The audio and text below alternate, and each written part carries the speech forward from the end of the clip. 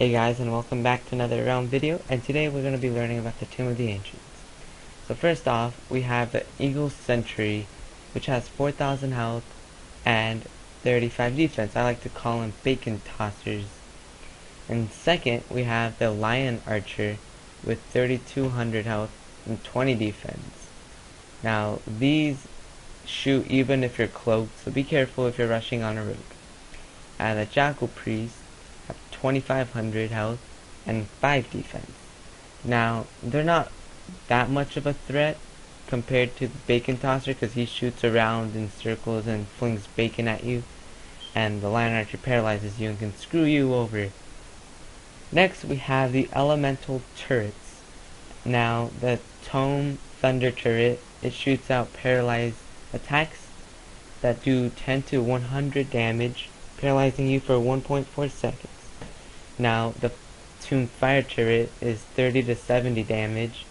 That armor breaks you for 2 seconds. And you be careful of this, because if you get paralyzed under this with a bunch of scarabs, you're pretty much instantly dead. Now, the final turret we have is the Tomb Frost Turret, which does 70 damage and slows you for 2 seconds. Now, we have these swarms. There are three different colored swarms, and they all do different things. So the red swarm has 3000 health, no defense, and shoots two shots. One of the shots does 40 damage, armor pierce, and the other one just does 80. The yellow swarm has 3000 health, 0 defense, and both shots do a debuff. One of them does 40 damage with blind for 4 seconds, the other one does 80 damage but confused for 2 seconds. And the blue swarm has 3000 health, but it has 20 defense unlike the others and he shoots two shots as well. One does 60 damage and the other one does 100 and weaks you for 1.2 seconds. Now we have the Mummy and Scarab. The Mummy is 3000 health with 20 defense and he shoots out two shots that look very similar to each other. One does 30 damage and the other does 30 as well, but it confuses you for 2 seconds and it also spawns scarabs. Now the scarabs, have 300 health and 0 defense. They shoot 2 shots. I don't really pay attention to the green one, I just run away from the scarab. And another shot that does 20 damage for paralyzed for 0.8 seconds, and these are the guys that can screw you over in a tomb. Next, we have the jackals. Now the jackals is one of the very, very harmful things in the tomb, and better watch out from because you can die pretty much instantly if you stand on one. So we have the Jackal Lord with 6,000 health and 40 defense. The shot does 140 damage and spawns uh, three little jackals, a Jackal Warrior, Jackal Assassin, and a Jackal Veteran. The Jackal Warrior does 80 damage and he has 1400 health with 10 defense. The Jackal Assassin has 2000 health 30 defense, and does a shot with 100 damage. The Jackal Veteran has 1800 health, 20 defense, and does 120 damage. And all the shots look the same for the little jackals. Next, we have a sarcophagus, or I like to call them Sarcophagus. Each Sarcophagus has 15,000 health, 100 defense, and they stun for 3 seconds. But there's worshipping priests and priestess inside the dark room with you. One has 8,000 health and 20 defense, shoots two shots, one of them weaks you for 5 seconds and the other does 100 damage. And the Priestess has 7,000 health, 15 defense, and the Boomerang actually does 0 damage, but it weaks you for 7 seconds, and the second shot does 80 damage.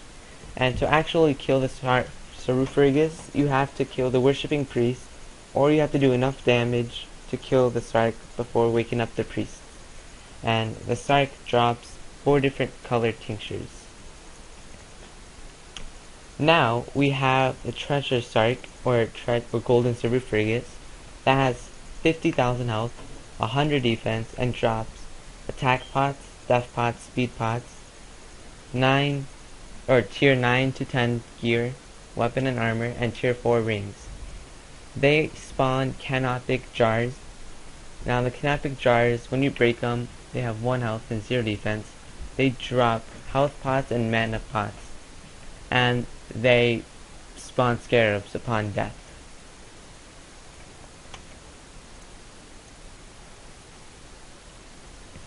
Next thing we have is the three tomb bosses. Now, Bes is one of the three bosses that has a thousand or hundred thousand health and fifty defense.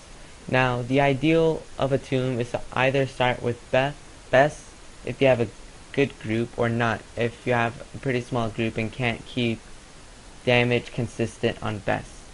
Now, Bes does four different shots, three of which do damage. He has the dart shot, which does 240 damage.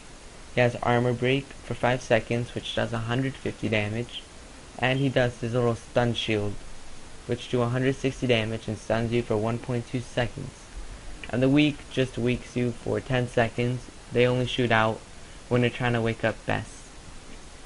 Now Bes spawns artifacts in a certain phase, which have 3000 health and 50 defense, and their shots do 50 damage and do weak for 2 seconds. And Bes drops a life pot, a tome of holy protection, a ring of the pyramid, three different treasures, and a tomb snake, or eggs, which is sort of disappointing.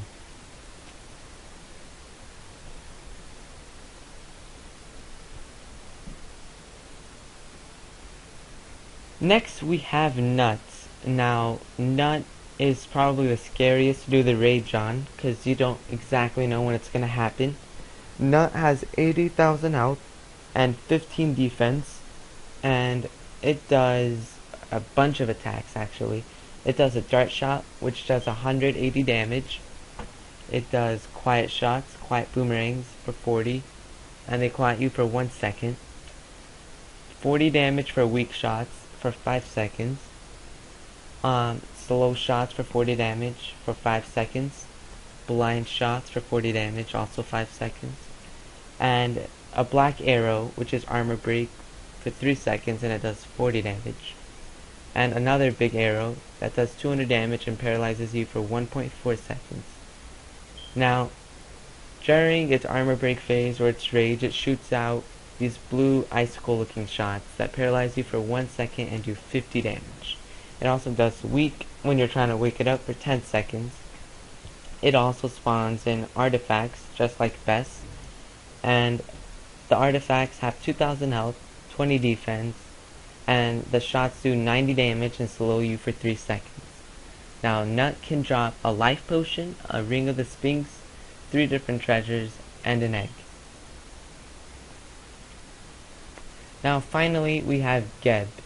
Geb has 90,000 health, 30 defense, and it's the final one you should do, and you'll probably need a long range to do the rage. It's very ideal to do that.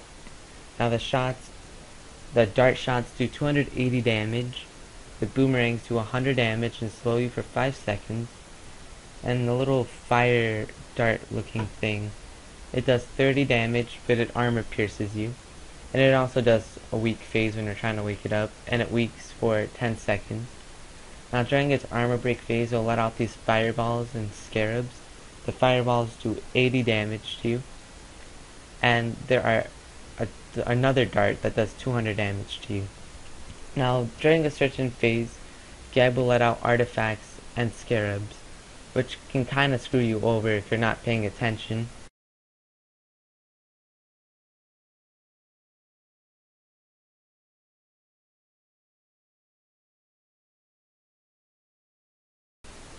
stupid Geb. And the artifacts have 2500 health, 20 defense, and do 180 damage.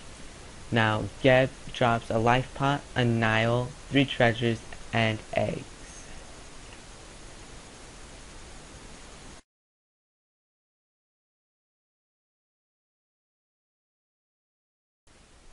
Here is me rushing a tomb uh, there was a jackal in the hallway. You should never have jackals in the hallway because you're going to eventually rush back if there's no anchor. Now, as you can see, what I'm doing is I'm unclearing a lot of the tiles inside the rooms so I can find out where the next dark rooms are because when I used to rush, I'd always get lost because I didn't know where the Sarks were. Now here, we are insta-killing the Sark. All you need for this is a warrior, paladin, and a knight to keep the stuns up. We didn't have a warrior, but we had armor break from Bryce. As you can tell from early on, that the Sarks have defense, so armor break actually does work on it. Now, continuing on with the tomb, like, there's some times where we mess up and we get weak, but we kill, insta-kill most of it. So, insta-killing Tomb, always good. You should try to do it if you have a bunch of people with you.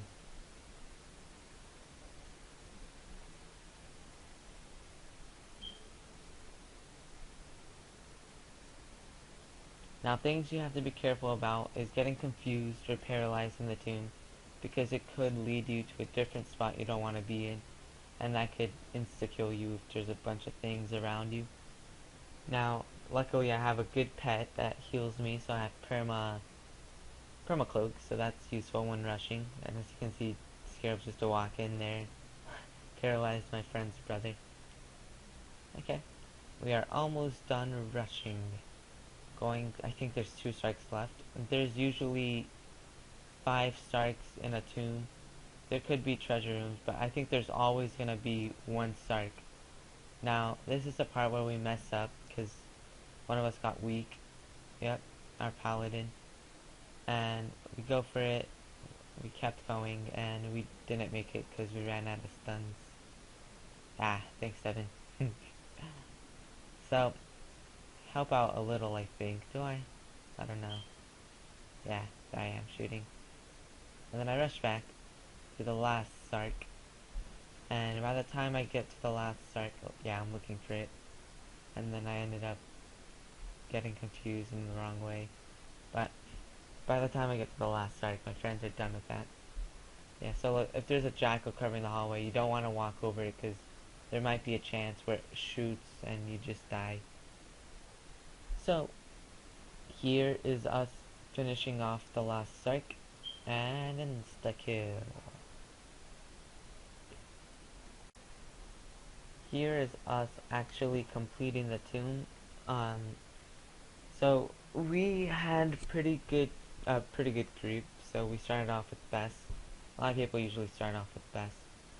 But if you're doing like a duo tomb or solo, and there's not much damage going in, you should probably start off with nut to make it easier. So here we are killing Bes. Um, we had Bryce. Thank you, Bryce, for armor breaking. So I was doing rages, but of course they wanted to do, do ah, they wanted to do more damage to get drops, and I ended up getting a zero after I yelled at them for moving out of the way.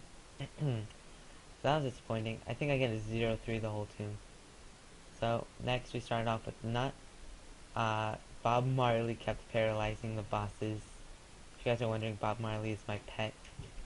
So Bob Marley was paralyzing, and right here it was taking very small circles, which kind of bugs me because you can't really circle in. There's the rage. Um, I think we had someone next his Devin's brother, but here's me doing the rage. Be careful to paralyze because they can kind of screw you over. Now, I got another zero, not surprising, because there's armor break and there's stuns going in. Anyway, so, uh, we are kind of wrecking Geb at the moment. We're doing a lot of damage, and the only way to have them go through their armor break phase is not to do a lot of damage in certain phases. Now, Bob Marley kept paralyzing them, or paralyzing Geb, and I thought it was a good sign, because I would get something, because they would back off. But, as it starts to rage, I go in. Now, when you're doing Bes, you should circle out, never stand right by his side, because you could eat all the boomerangs. So, it'd be good just to let him follow your lead, which is sort of hard for me, because then he'll get paralyzed. And when a tomb boss gets paralyzed, then it switches directions. So here you see, he went to his armor break phase, because we didn't do much damage to it. So we'll keep circling around.